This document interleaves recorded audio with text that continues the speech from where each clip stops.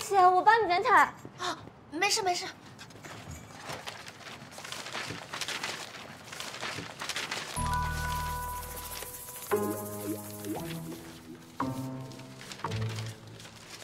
亲们，亲们，亲们！今天大秘密来了，有关刘总。刘总的奇葩行径，我们已经见怪不怪了，完全不感兴趣。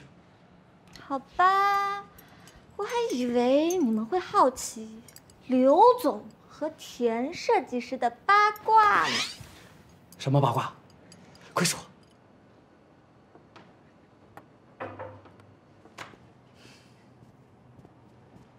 刘总，已经预约好和李医生复诊的时间了。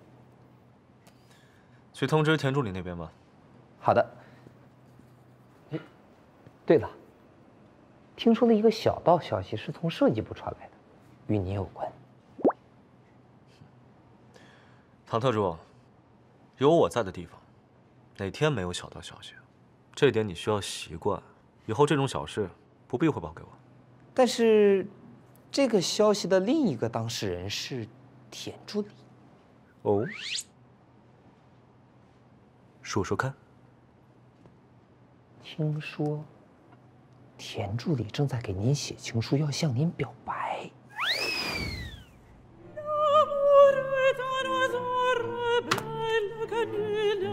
表白。阿田怎么样了？你们刘总答应了吗？姐妹要撑不住了。放心，我今天无论如何都帮你办好。亲姐妹，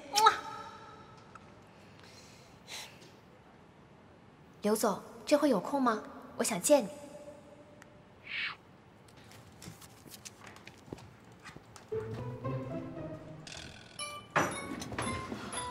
我看他拿情书了，要行动了。有点刺激，好想围观啊！自古表白多白表啊，我都有点替田设计师捏把汗了。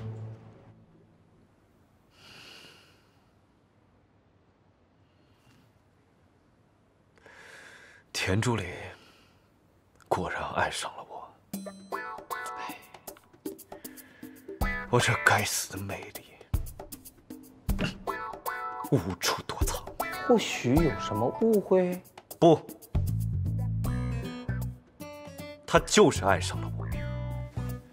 他之前总是想拒我于千里之外，但这一次却一反常态的想要接近我。这里绝不是误会。刘总，田助理好像不是。这种亿万少女的梦，你不懂，你没有经历过。那原定下午和田小姐一块去李医生那儿复诊的行程，算了，我自己去吧。这时候应该和田小姐保持距离。好的。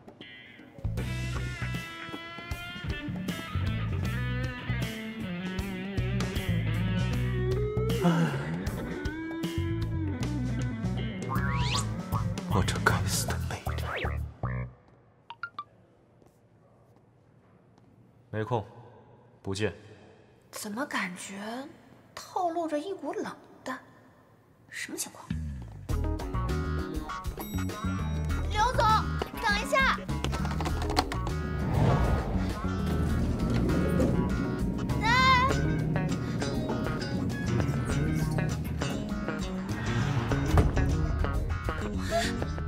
怎么奇奇。怪怪的，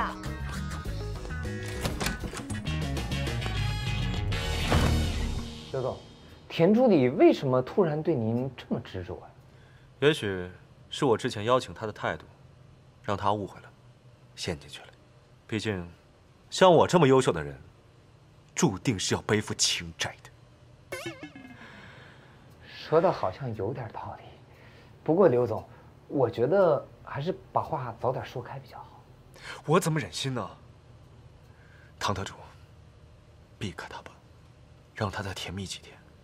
我这无处安放的魅力。福海，翻起爱恨，在世间难逃避命运，山苍见不可世间，何为一瞬双星四远方。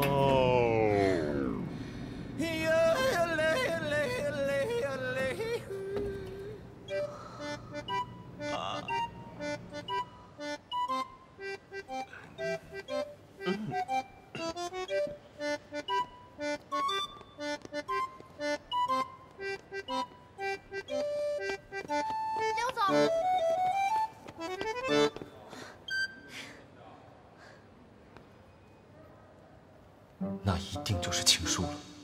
哎，我的错，却要田助理买单。哎，田助理，你是一个非常好的姑娘，长得漂亮，也很有能力，你真的非常优秀。怎么回事？这么快？这次真不会是要上演霸道总裁爱上我了吧？不要吧！他一定是察觉我要拒绝的，想要逃避。算了，长痛不如短痛。田助理，我觉得你特别适合做我的生活助理。你对我来说是独一无二的，我不想失去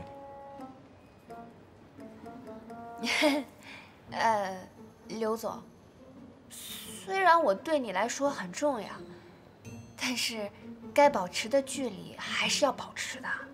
他故作没事的样子，还有点可爱，不知道他能不能承受住我的拒绝呀？田助理，你不用再强颜欢笑。我欣赏你的审美，只不过我们是不可能的。呃，刘总，你在说什么？什么不可能？你的想法我都知道了。你都知道了，那你可以答应吗？对不起，我选择独自美丽。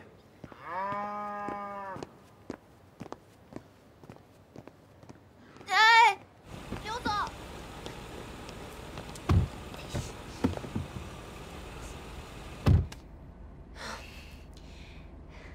刘总，那我就把话说明白一点。我知道你手里拿的是情书，你要跟我表白，我不肯见你，就是不忍心当面拒绝你。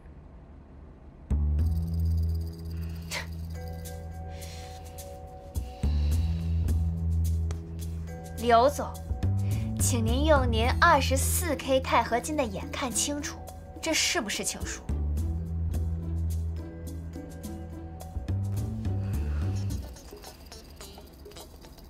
刘总，我仰慕您许久了。你带领千盛集团乘风破浪，势如破竹，是青年企业家中的风云人物，能不能接受我的专访？邀请人是刘思。专访邀请函看清楚了吗？这真是一个美丽的误会啊！我向你表白，我们两个人之间隔着一整个生物链，好吗？田助理的意思是说，圈层不同。拜托，是物种不同。哼，哼很好，田助理没有这种不切实际的想法，我很满意。放心吧，现在没有，将来也不会有。您根本就不是我的菜。非常好，我也不会随便就接受什么人的专访，毕竟物种不同。田小姐，下车吧。